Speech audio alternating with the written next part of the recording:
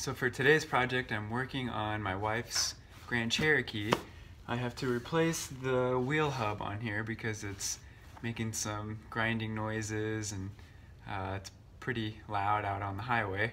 So this is a Detroit Axle brand.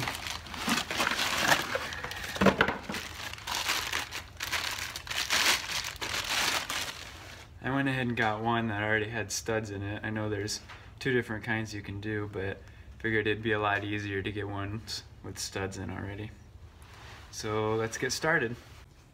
Just to clarify, this is the 2005 Jeep Grand Cherokee with the 4.7 liter V8.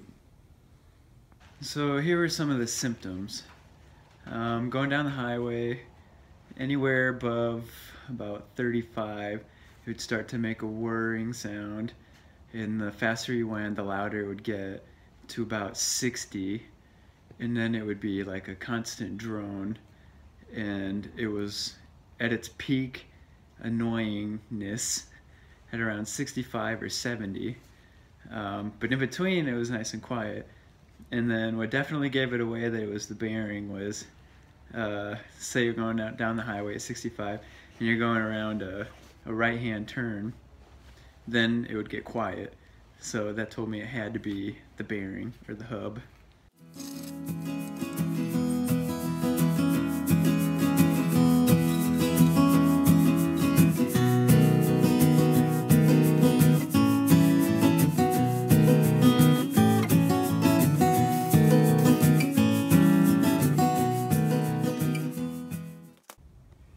So the first thing we're gonna have to do, we're gonna take all the brake stuff off. So we gotta remove the caliper first. That'll free this up, the rotor, to take that off. So let's get doing that.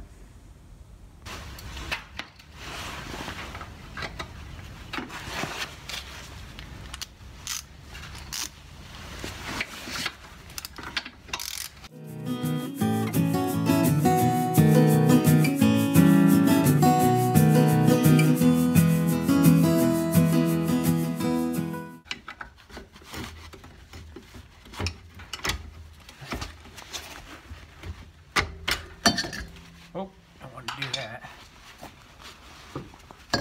Just tuck that up out of the way.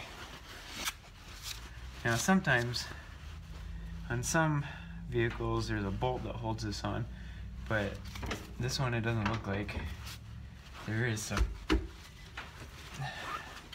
I just have to smack it with a hammer. It's not coming off right away, so first I'll try and nail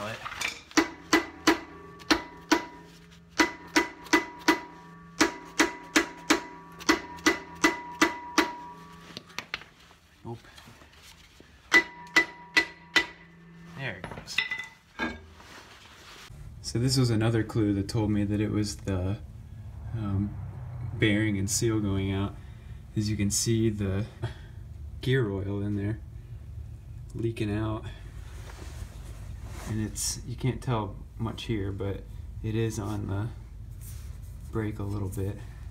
These are, these brakes are fairly new. They're only about uh, maybe two months old. So I'm not sure if I'm going to have to remove these to take the hub off, but I'm going to anyways because they're covered in gear oil. So it'll help me, or I'll clean it up a little bit. That'll help. So I think what I need to do is just uh, remove these clips and these springs holding them in. And they should just pop out. Remove that spring too. So let's try that out.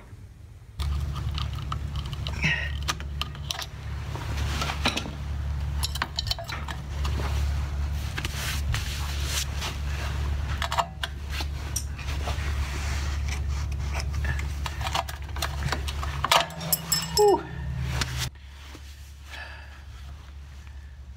Time for a band-aid.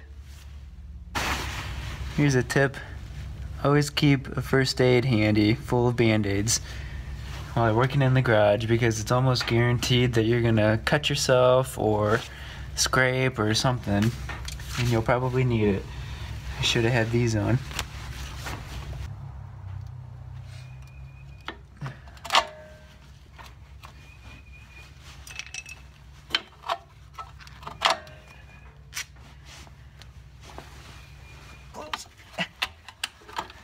getting there.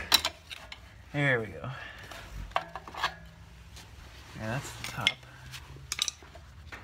Oh, I gotta get that.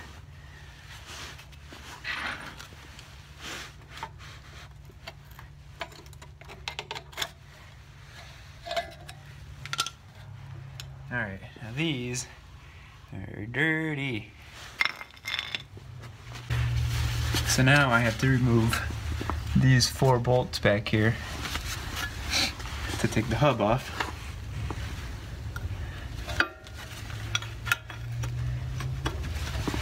So I'm just gonna use, this is an 18 millimeter, and I got my hammer. I'm just gonna hammer it down to loosen it up.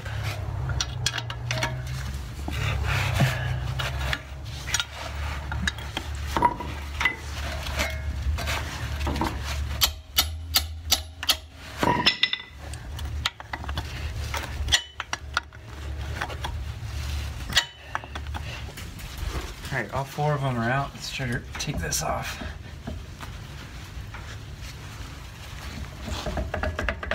There it goes. So you can see I got it pulled out and the axle shaft is trying to come out with it too. So I need to separate this from this. I Need to separate the hub from this. And gear oil is coming out so I went ahead and I lowered lowered the other side of the axle. It's on the tire and this is jacked up a little higher so that all the gear oil will run that way. So I'm just gonna take a screwdriver and try to separate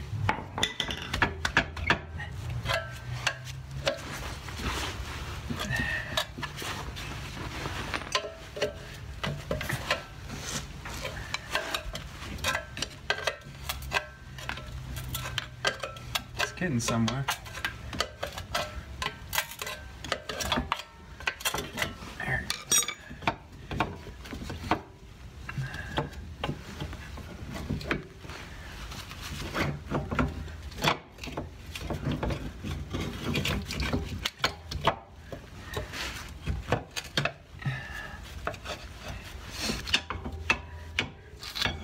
All right. There it is.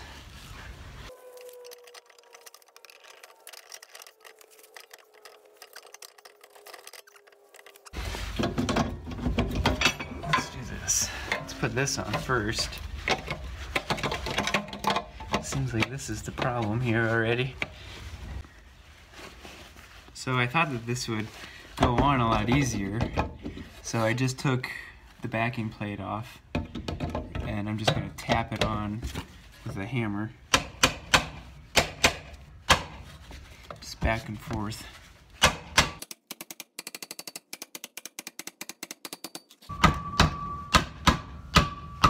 Alright, that's good. You can see you can see there, it's all the way on. So a little word to the wise. Uh, there is an O-ring that goes around here. Um, I didn't notice it at first.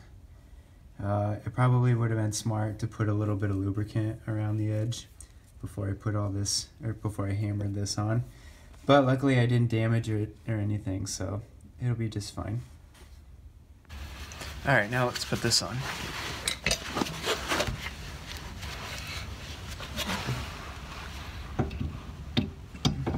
So it slides into the axle shaft at the same time as you put this on. Actually, you could probably pull the shaft out a little bit. Put that on first.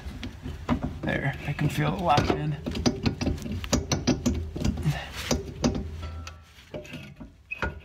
Gotta get the parking brake cable in there too at the same time.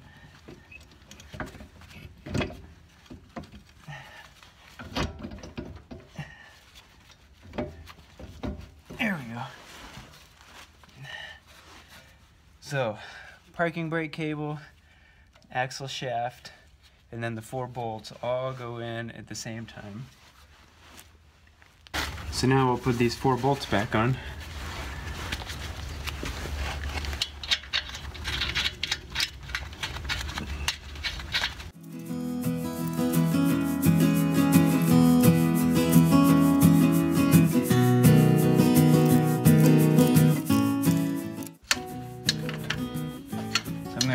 Walk it on. Do a little bit on that one, a little bit on this one. Just so it doesn't go on crooked.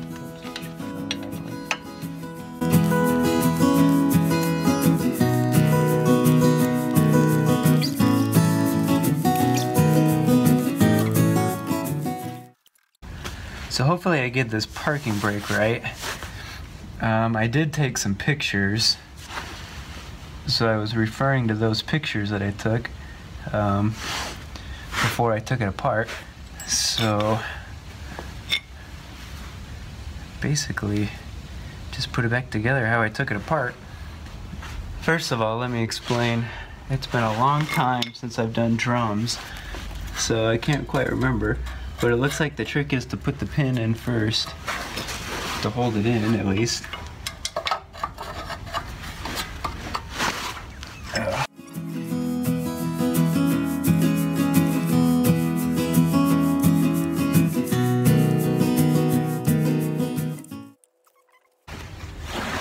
Put in this little piece.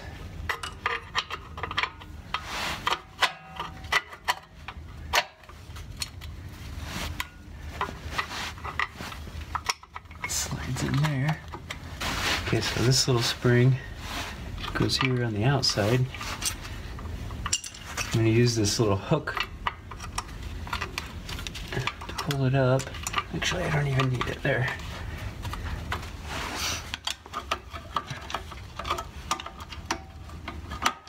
There. Now it's lined up. Before I put the rotor back on, I'm going to clean it up with some brake clean because it did have a little bit of gear oil on it.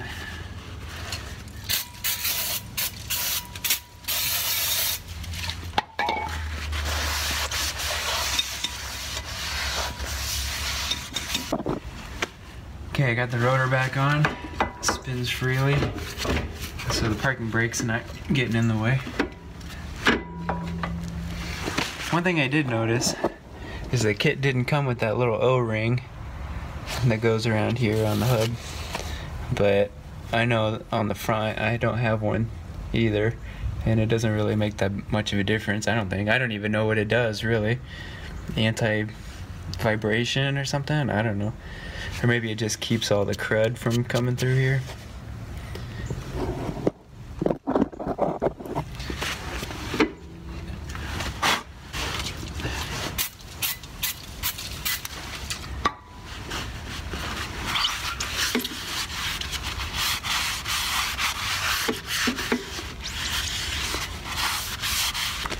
All right, now let's put the caliper back on.